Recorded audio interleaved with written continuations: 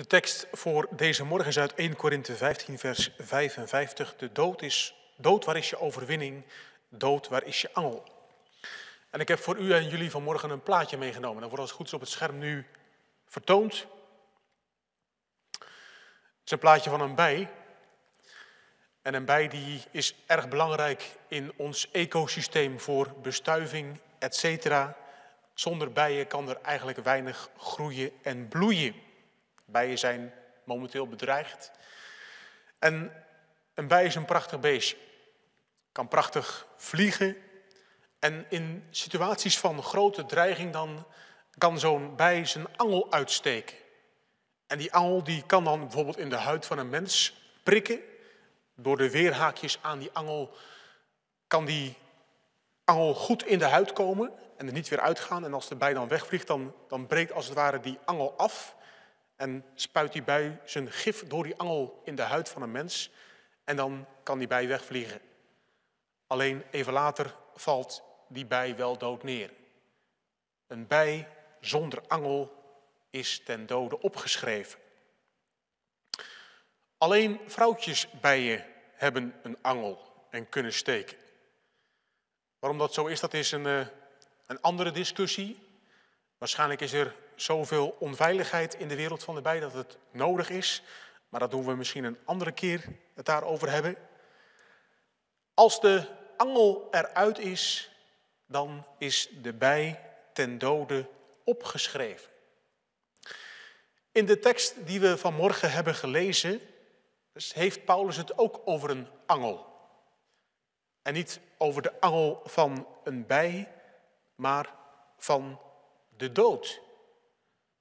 Dood, waar is je overwinning? Dood, waar is je angel? En dat is natuurlijk best lastig.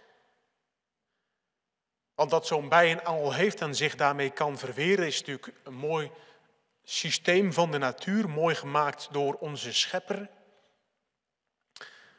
Maar dat de dood geen angel meer zou hebben, dat lijkt wel te botsen met, met onze werkelijkheid. Afgelopen week moesten we een gemeentelid begraven. En als je om je heen kijkt en luistert, dan gaat die dood maar verder. Dood, waar is je overwinning? Dood, waar is je angel? Is dat wel zo verstandig om dat zo hard te roepen, Paulus? Of moeten we vanmorgen iets langer luisteren? Paulus die is in dit hoofdstuk 1 Korinthe 15 bezig om te laten zien het grote belang van de opstanding van de Heer Jezus Christus. U moet het eigenlijk maar een keertje doorlezen vandaag, 1 Korinthe 15. Paulus die, die hamert erop, zou je bijna zeggen, om te laten zien dat Jezus echt is opgestaan uit de doden. Als de opstanding fake was, dan kunnen we als gemeente wel inpakken. Geen hoop, geen toekomst, geen perspectief. En aan het eind van dit hoofdstuk, wat een, het midden heeft tussen een verhandeling, een, een preek, een lied, roept hij het uit. Uiteindelijk, Jezus is opgestaan, dus dood, waar is je overwinning? Waar is je angel? Paulus die hamert er in dit hoofdstuk op dat de Heer Jezus is opgestaan. En in die gemeente van Korinthe waren daar sommige mensen die daar wat, wat vragen bij hadden. Blijkt uit het geheel van hoofdstuk 15. Er waren mensen die van alles geloofden van de Heer Jezus, alleen bij die opstanding toch wat, wat vraagtekens hadden. Er waren ook mensen in Korinthe die, die zo dicht bij de wederkomst van de Heer Jezus leefden, dat ze zich zorgen begonnen te maken. Jezus had gezegd dat hij snel terug zou komen. En die mensen waren daar elke dag, als het ware, omhoog naar, kijken, naar aan het kijken. Komt u al, Heer Jezus? En die mensen die, die moesten wat langer wachten. En die zagen om zich heen geliefden wegvallen. En die maakten zich daar grote zorgen om. Hoe zal het zijn als dan Jezus zal terugkomen en mijn man of mijn vrouw is er niet meer? Hoe zal dat zijn? Wat voor lichaam zullen ze hebben als Jezus Christus terugkomt? En met al die vragen in zijn achterhoofd is Paulus dit hoofdstuk aan het schrijven. En dan zegt hij in vers 50, wat ik bedoel, broeders en zusters, is dit, wat uit vlees en bloed bestaat, kan geen deel hebben aan het koninkrijk van God. En dat is niet zo mooi. Vlees en bloed, dat zijn wij. Mensen van vlees en bloed, dat bent u, dat ben jij. Wij kunnen geen deel hebben aan het koninkrijk van God. Je zou bijna zeggen, zo'n vinkje bij, bij ongeschikt voor het koninkrijk van God. En weet u, dat komt omdat we als mensen zondaar zijn geworden. En zonde, dat matcht niet met het koninkrijk van God. Het koninkrijk van God is, is rein, puur, vol van liefde, genade, waarheid. En zonde, wat in ons systeem zit, in ons denken, in ons lijf, dat, dat past daar niet bij. Dus er moet iets gebeuren waardoor wij van ongeschikt geschikt worden voor het koninkrijk van God. En Paulus zegt, ik zal u een geheim vertellen, onthullen. We zullen niet allemaal eerst sterven, maar we zullen toch allemaal veranderd worden. In een ondeelbaar ogenblik, in een oogwenk, wanneer de bazuin het einde inluidt. Dus er gaat iets gebeuren voor mensen van vlees en bloed die van de Heer Jezus houden. We zullen toch eenmaal veranderd worden. En hoe dat precies zal zijn, dat weten we niet. En wat er dan precies gaat gebeuren, dat weten we ook niet zo goed. Maar, zegt Paulus, we zullen veranderd worden. En dit zegt hij natuurlijk tegen die mensen die, die zich zorgen maakten over hun geliefde, die al gestorven waren voordat de Heer Jezus terugkwam, terug zou komen. We zullen veranderd worden. Iets daarvan zien we wanneer de Heer Jezus zelf is opgestaan uit de doden. En hij verschijnt aan zijn, aan zijn discipelen in de eerste plaats.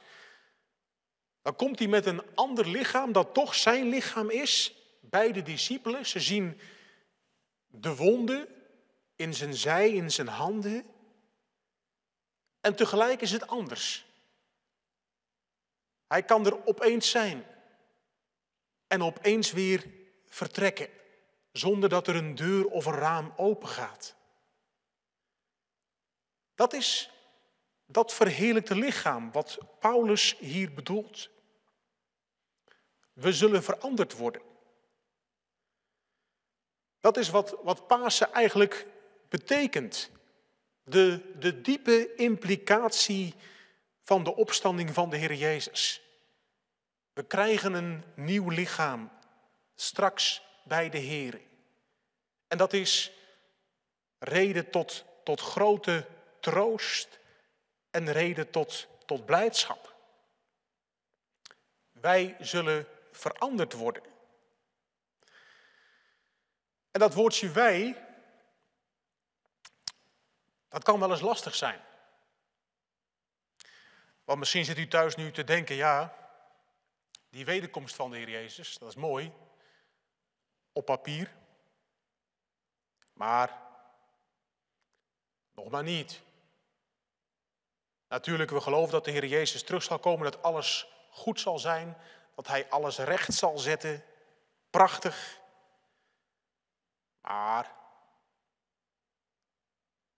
je kinderen opzien groeien tot mooie mensen. Kleinkinderen. Je plannen uitvoeren. Die wederkomst van de Heer Jezus.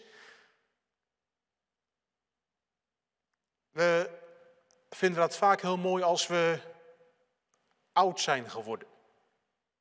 En zoals de Bijbel zegt, zat vandaag. Als je klaar bent met leven. Maar in het volle leven van elke dag de wederkomst verwacht. Wij zullen veranderd worden. Dan moet je wel supergeestelijk zijn, zou je bijna zeggen. Ik kan me goed voorstellen, dat heb ik ook zelf absoluut, dat je denkt, ja, ik ben niet zo'n mens die voortdurend omhoog kijkt en vraagt of de Heer Jezus terug wil komen. Ik ben niet zo supergeestelijk. Die wij, aan wie Paulus schrijft, dan moet je eigenlijk eventjes het begin van 1 Korinthe erbij pakken. Dan zegt Paulus wie die mensen zijn. Dat is 1 Korinthe, de eerste paar versen aan de gemeente van God in Korinthe, geheiligd door Christus Jezus, aan hen die geroepen zijn om zijn heilige te zijn. En aan allen die de naam van onze Heer Jezus Christus aanroepen, waar dan ook, bij hen en bij ons. Dus geheiligden, geroepen geheiligden en mensen die continu de naam van de Heer Jezus aanroepen. Nou, ik weet niet hoe jij jezelf uh, zou omschrijven.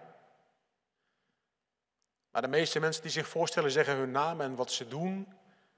Ze zeggen niet ik ben een geroepen heilige, een geheiligde door de wil van God. Doe maar gewoon, zouden we zeggen.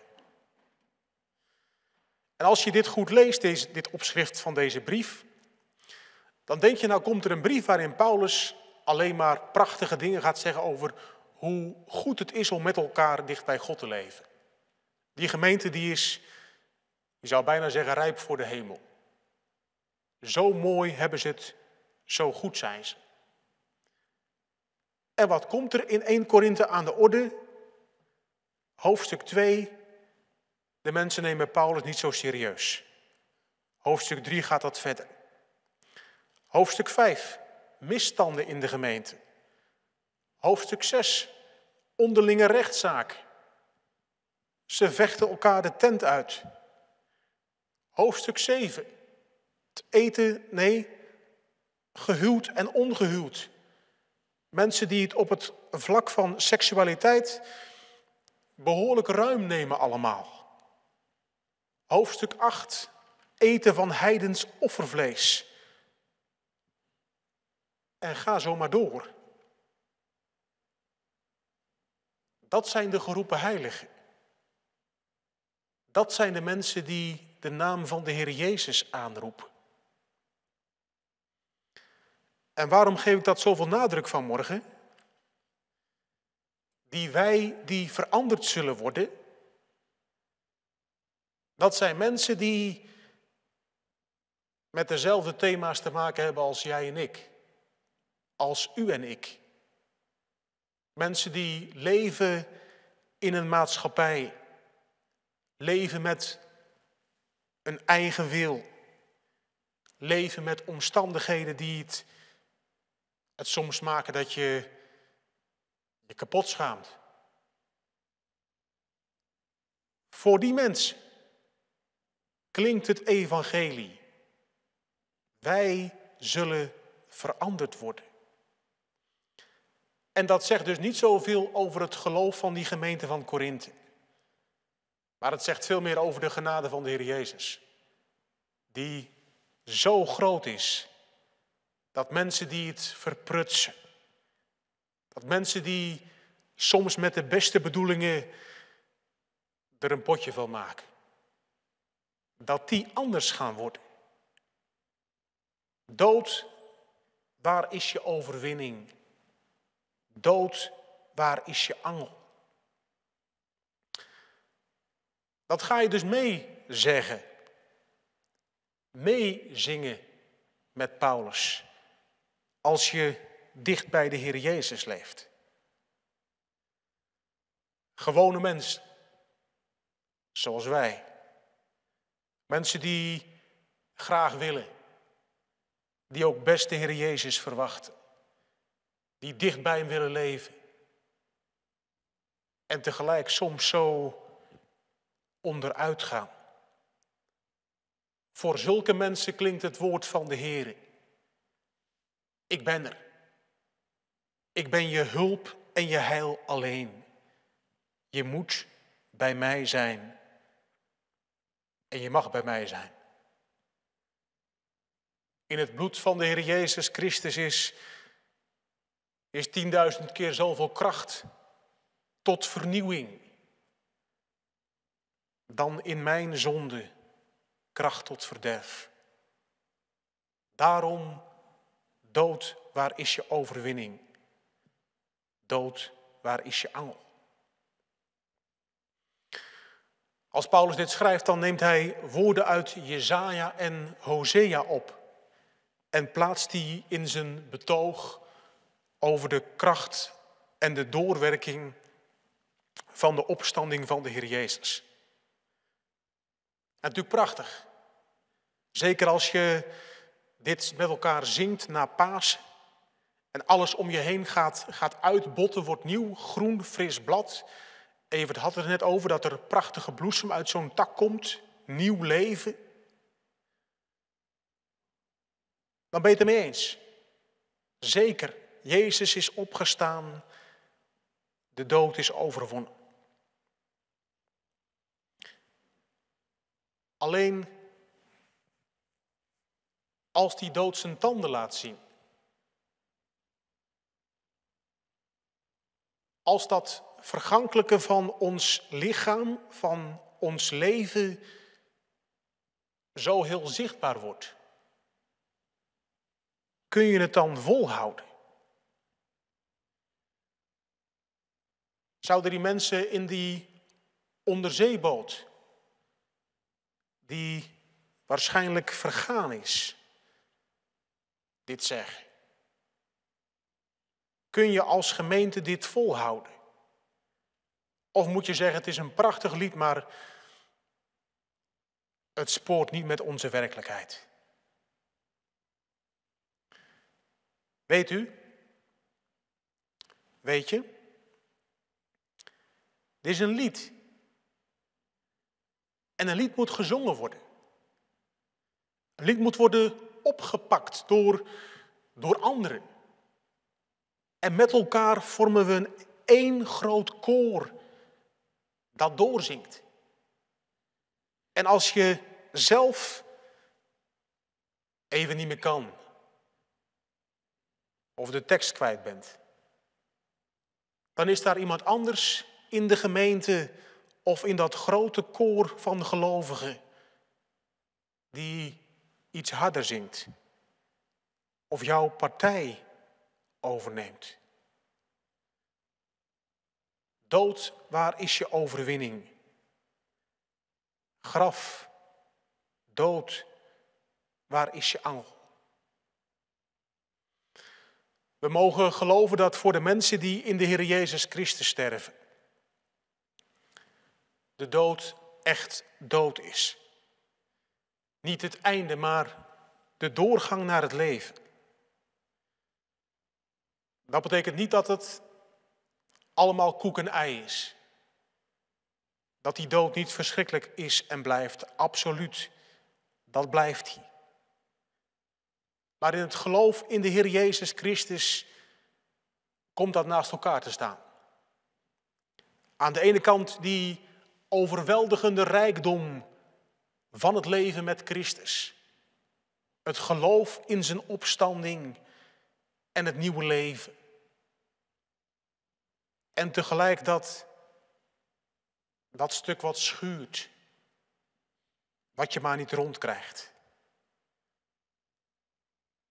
De dood is gesmoord in de overwinning. En als de bazuin klinkt, wanneer de bazuin het einde inluidt, dan zullen we Jezus zien. Als de bazuin in het Oude Testament de shofar klinkt, dan wist het volk Israël, nu moet je opletten. Hier gaat iets groots gebeuren.